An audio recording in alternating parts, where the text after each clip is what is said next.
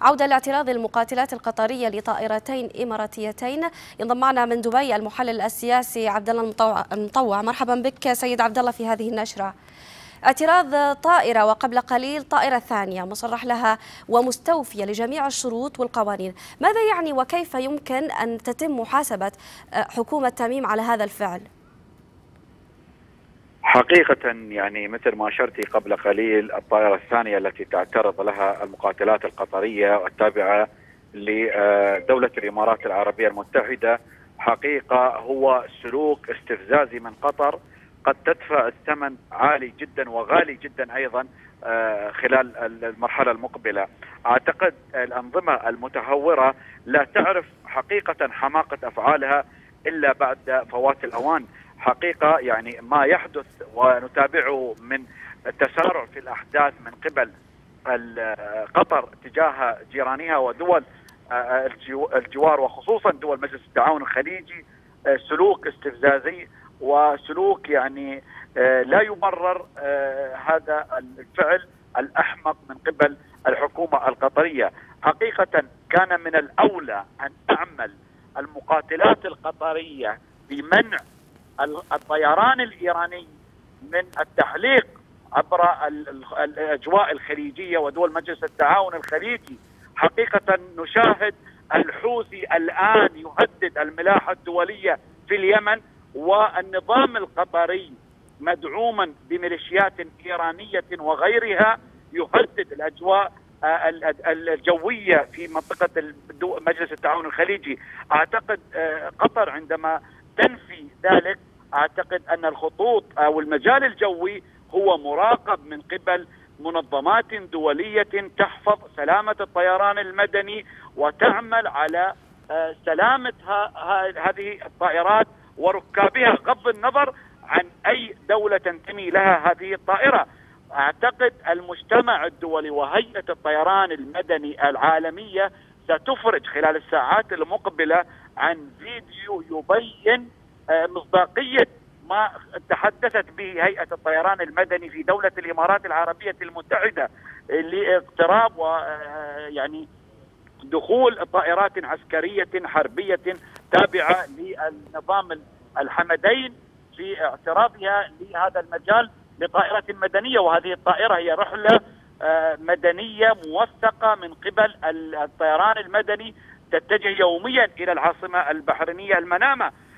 وتعلم جيدا الخط الذي يعني يوضع لها المجال الجوي الذي يسمح لكل طائرة مدنية. هو مجال معتمد من قبل هيئة الطيران المدني العالمية وليس معتمد من قبل دولة معينة أو غيرها. هذا التهديد يبعث برسالة سياسية مهمة لهذا التنظيم الذي يعني يعني أفسد في المنطقة وعمل على تهديد أمن واستقرار عدد برأيك ما هو الهدف وما هي الرسالة الذي يود أن يرسلها أو ترسلها حكومة تميم؟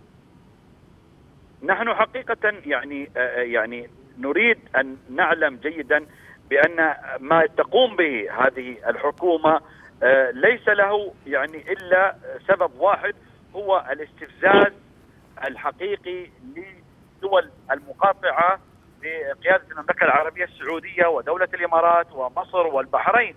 النظام أصبح يعني في الرمق الأخير نظام يعني فاشل وبدأ يعني يظهر محاولات فاشلة من خلال عمليات استفزازية إن كانت بعد فشله في الإعلام ونشر الأخبار الكاذبة من حين إلى حين الآن يعمل على التحرش بدول الجوار الآن هذه سلامة الملاحة الجوية ليست يعني مطلب إماراتي أو سعودي أو خليجي هذا هو مطلب المجتمع نعم. الدولي أن يكون هناك موقف حقيقي من قبل المجتمع الدولي أن سلامة المجالات الجوية والبحرية والبرية والممرات الدولية هو يعني من قبل تأمينه من قبل المجتمع الدولي واجب على المجتمع الدولي أن بتامينه وليس على دولة معينة نعم. أعتقد تصريح دولة الإمارات كان واضحا من قبل هيئة الطيران المدني الذي أصدرت بيانا صباح هذا اليوم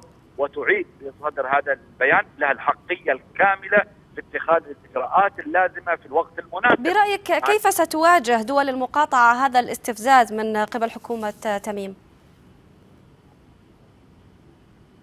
العمل آه الذي تقوم به حكومة تميم آه أو نظام الحمدين مثل ما اشرت الإجراءات التي ستتخذها دولة الإمارات أو المجتمع الدولي ستؤخذ على مجال قانوني ومسلك قانوني من من المبكر جدا أن نتحدث ما هي الإجراءات ولكن هذا إثبات يفشل حقيقة المساعي التي يسعى إليها نظام الحمدين كاذبا عبر وسائل الإعلام بأنه هو يريد العودة إلى الحضن الخليجي لكن كيف أن يعود وهو يأتمن بحضن عباءة إيران والنظام الميليشيات الإرهابية لنظام الإخوان المسلمين في قطر ويحتوي ويضم عدد من الإرهابيين أعتقد هذا ما يعني نعتبره مراهقة سياسية يقوم بها النظام الحمدين حتى أتوقع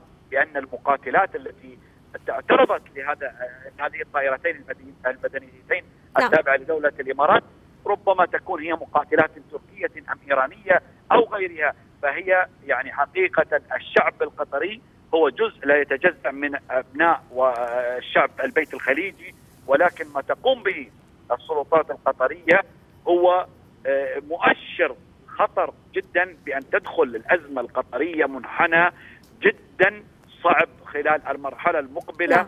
وهذا سلوك استفزازي يعني أحمق من قبل نظام نعم اسمح لي أن اقف عند هذه النقطة من دبي المحلل السياسي عبد الله مطوع. شكرا جزيلا لك.